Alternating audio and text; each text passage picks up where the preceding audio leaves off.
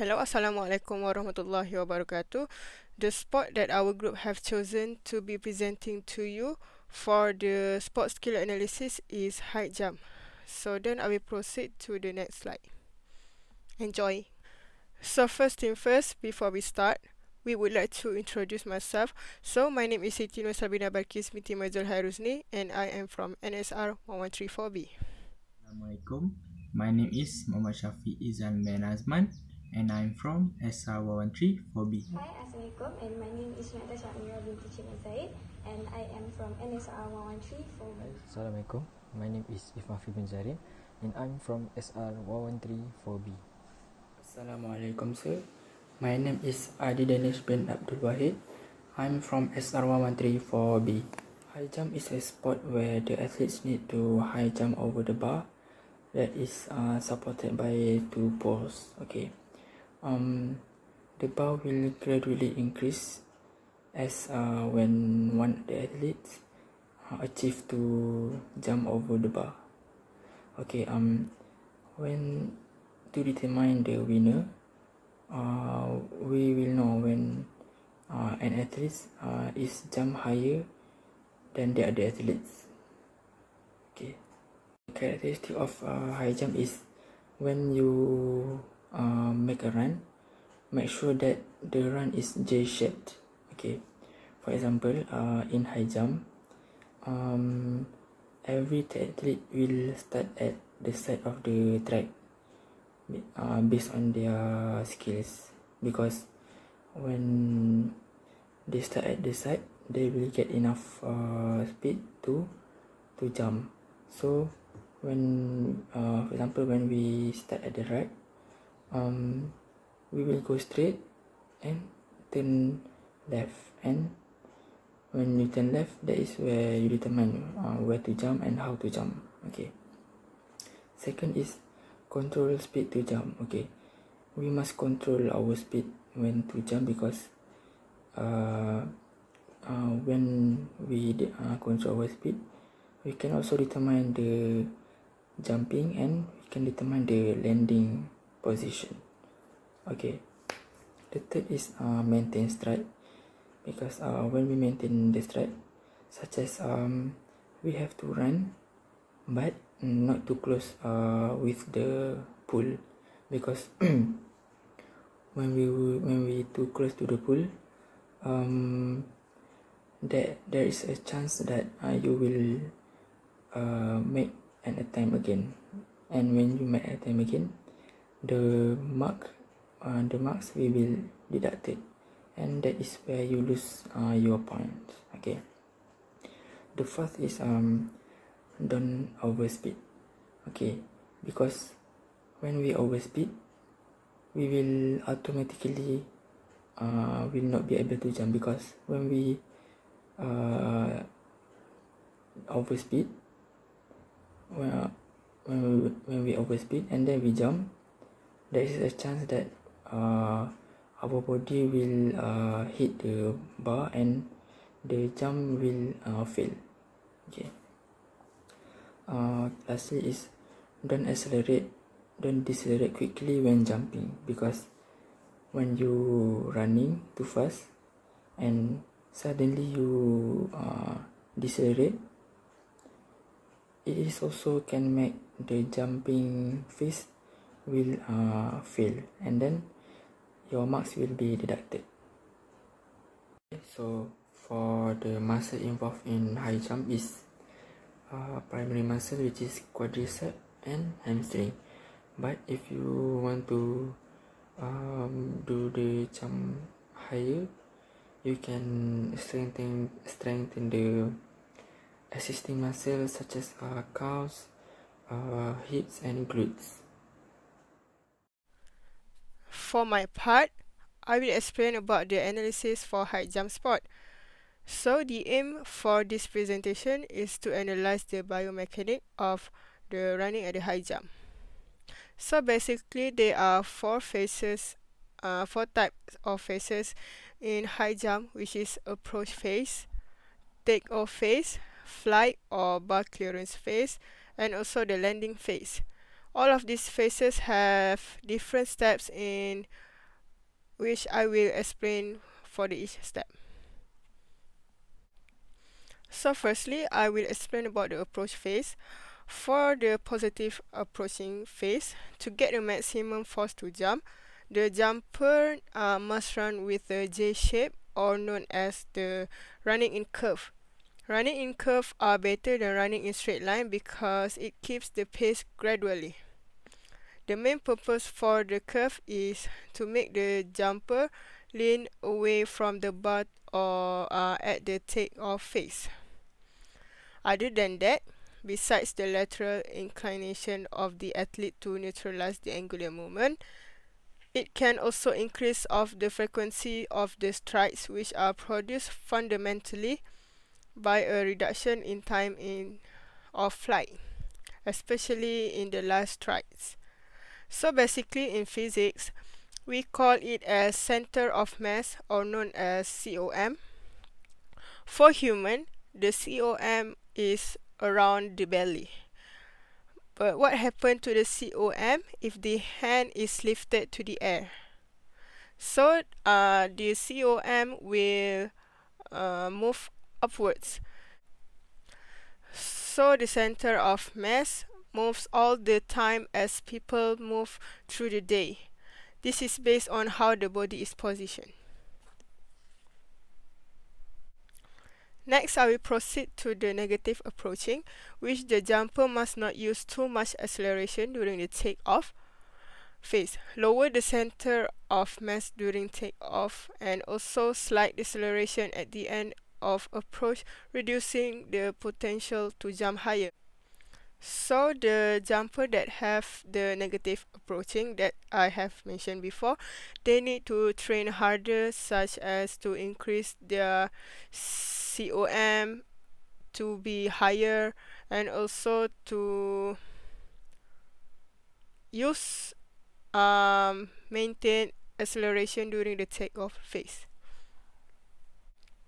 Next, for the take-off phase, as listed in the rules by Association of Athlete Federations or IAAF, the jumper must take off from one foot.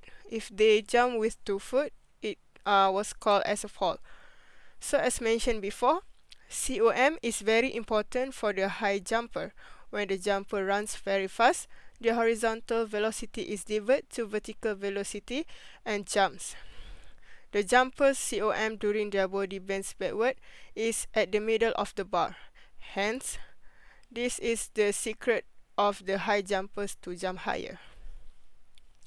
These techniques are called as the Fosbury flop, which the jumper can apply the amount of force that can raise their body much higher than before. This is why the curve run are better than the straight run because the curve um other than that the jumper must tilt their head to the left shoulder to begin rotation if their dominant legs is the left leg. In addition the jumper must also jump with the take-off foot is at plantar flexion to decrease the risk of injury and also the free leg is driven up so uh, for the negative takeoff phase, all I can say is the lesser the momentum that you apply during the run, the less amount of force to jump higher.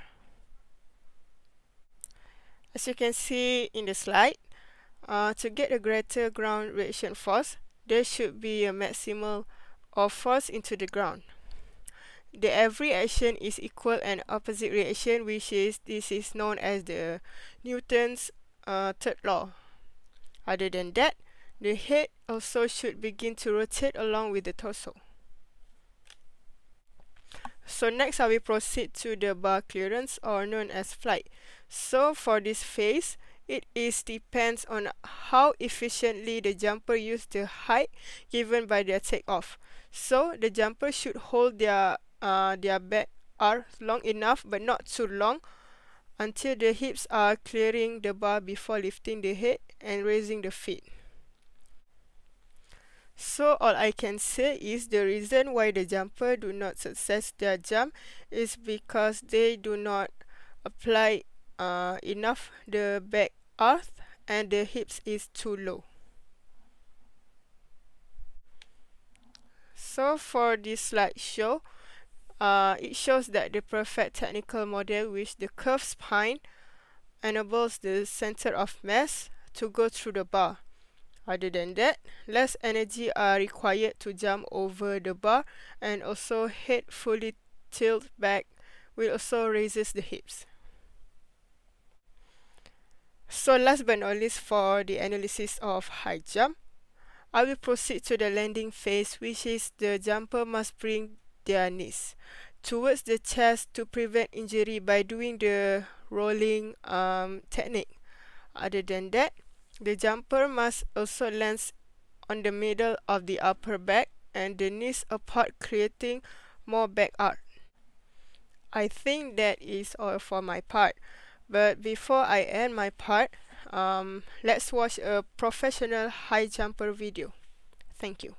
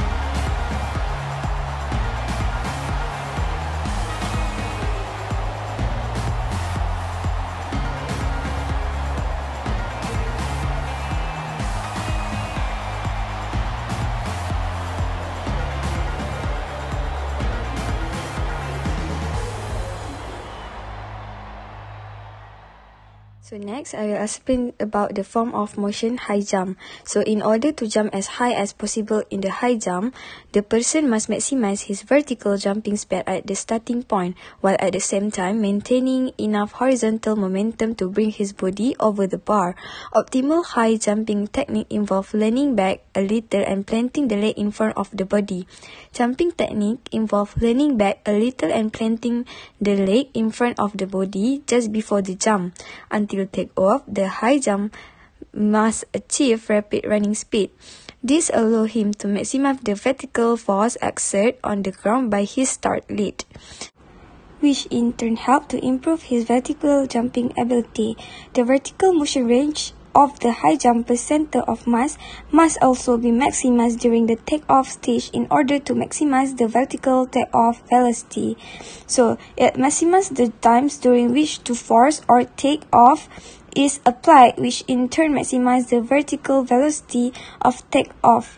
And at the start of the takeoff stage, the high jumper center of mass is in a low position and at the end of the takeoff stage, it is in a high positions. The high jumper's center of mass may be treated as a single particle that obeys Newton's second law of motion when we conclude correctly that the air resistance is negligible. During the airborne phase of the high jump, the motion of the center of mass of the high jumper is exactly predicted by the projectile motion equation. When the high jumper's feet leave the field, his center of mass movement is defined and the high jumper can do little more to adjust it. When the high jumper is airborne, however, he can further increase the height of the bar which the clear by wrapping his body around the bar using the correct technique. In doing so, it must center will actual pass under the bar, thus allowing its body to pass over the bar, the black dot. This means that the bar can actually be replaced higher than the maximum height reached by the center of the mass of the high jumper. Eventually, when he leaps over it, the high jumper will have a slight rotational speed to go under the pole. This rotational speed is measured at takeoff by the high jumper using the force exerted at takeoff by his leg on the ground.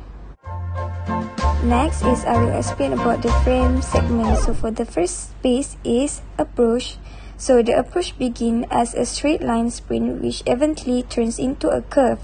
Some athletes have an 8 to 12 stage method run. The approach run is extremely necessary for high jump success. It raises the horizontal velocity of the athlete, which is subsequently used for the plan. It also places athlete in a good takeoff position so that at the greatest possible speed of takeoff they can achieve an optimum angle for takeoff. Some athletes may attain speeds of 6 to 8 ms during a push run.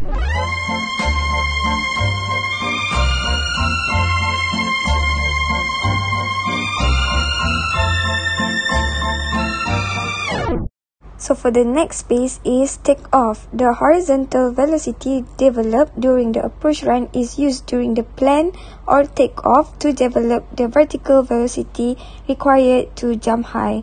Some writers think this is the most critical step of the high jump. This space is very short and the athlete can reach vertical velocity up of up to 4 meters per second during this process. During the approach, the plan of takeoff begin. The second to last step of the athletes during the approach run will be longer than the last step and will be begin to lower the center of gravity of the athletes by flexing the knee.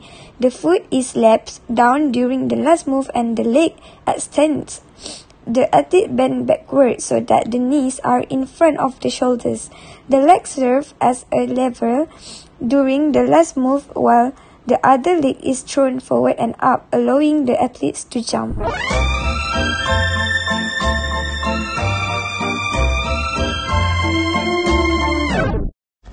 So for the last piece is flight.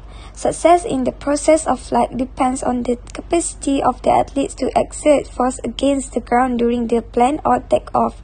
During the approach, the athlete must attain an a sufficiently high horizontal velocity, sustain an extended leg during the approach, and achieve maximum extension during the takeoff. The plane and takeoff take place in front of the bars so the competitor can leap over the bar backwards. It means that when the athlete leaves the ground during the takeoff, they have to make sure that their body is out of the bar when they pass through it. It is achieved by arching the back after the head and clear the bar by the elbow, which raises the hips.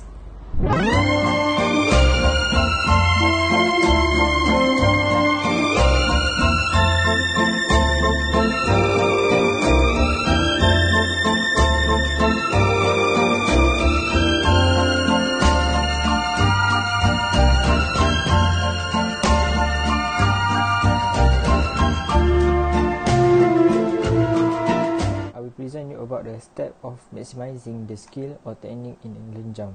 Okay, the first one is kinetic and kinematic. As you know, in a long jump, there is insists of four of interconnected phase, which is consist of approach, uh, takeoff, flight, and landing.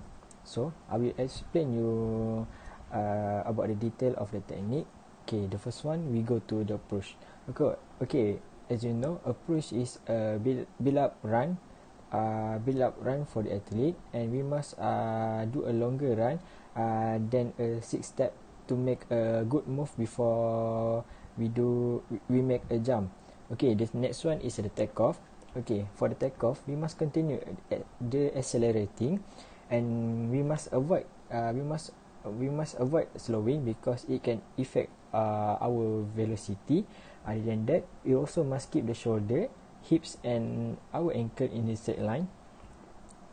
Because it also can make a good move and also a good velocity uh, to make a jump. And the last one is we must maintain about a 23 to 25 degree angle before we do a jump. Okay. The next one is about flight. Okay as you know no matter uh, which flight technique we do the idea is to maintain uh, the idea is to maintain the forward momentum. So uh, there are many uh, flight technique as you know. So the flight technique that is consist in the long jump is the strike technique, and the next one is the hang technique, and the last one is the stitch technique. Okay. The last one is about landing. Okay, for the landing, uh, we must get the feet uh, as far out of in front as possible, and it uh, and also we must avoid having having having our butts or hand hits the ground behind your body. So once the feet hit the ground, we must push away the sand uh, to make uh, our our jump is longer and higher. Our long jump is longer and higher. Okay, so that is for kinematic and kinetic. So uh, other than that, the problem is about a transformation of horizontal velocity. Uh, this is horizontal velocity resultant uh, of the vertical and horizontal in the takeoff phase. Okay. Other than that, it is important to the athlete realize the greatest possible vertical velocity with the smallest uh, possible loss possible loss of horizontal velocity. Okay, so that's all for kinematic and kinetic. Okay, the next one I will explain you about the uh, I will explain you about how to maximizing the step or technique in a long jump. Okay, as you know, long jump is all about uh, explosive power. The more power, the more the more power we can generate through through legs, the high the through the legs, uh, it can make the higher and further we will use we will be able to jump. So it is important uh, for all athlete uh, for all long jump athlete Okay, as you know, explosive power is the combination of speed, uh, combination of speed, muscular strength, and muscular endurance. So, uh, the exercise that uh, the athlete can do to make uh, to make the to make them more to make them to increase their long jump or good long jump athlete is a running sprint, uh, lifting weight, and other than that is do a plyometrics exercise. Okay, I will tell you about the exercise. Okay, the first exercise is about uh, is about the running sprint. Okay, run sprint. Uh, the goal is to improve the cardio, and other than that, it also can improve our explosive jump.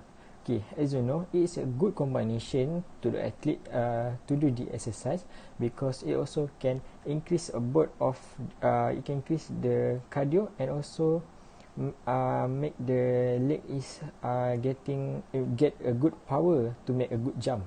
Okay, the next one is about the is about the do uh, perform weightlifting.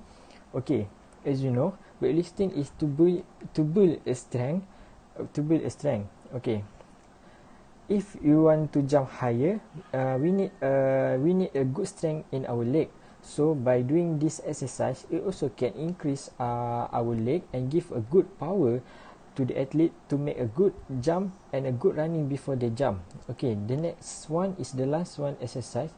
Uh, as you know, it's not the last one, but I choose this is the best exercise for the for choose the best exercise for uh, long jump athlete to do is the plyometrics at training.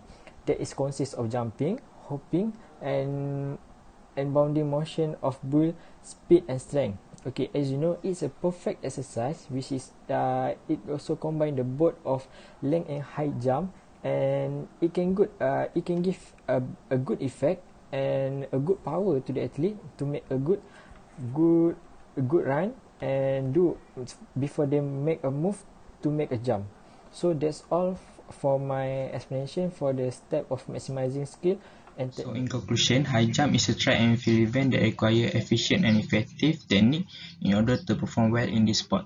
So there are three major phases in this sport which is approaching, takeoff and the landing. So the athlete need to master all three phases in order to get a good jump. So it doesn't matter if the physical of the athlete is tall, but the technique that they use in the high jump is more important. Uh, and then uh, the biomechanic analysis is one of the effective ways in order to know and correct the technique. So the success of uh, the athlete in the in this high jump sport is based on the uh, result of the technique and technical quality of the jump that they apply in the that they apply in the sport so that's that's all from our my group. Thank you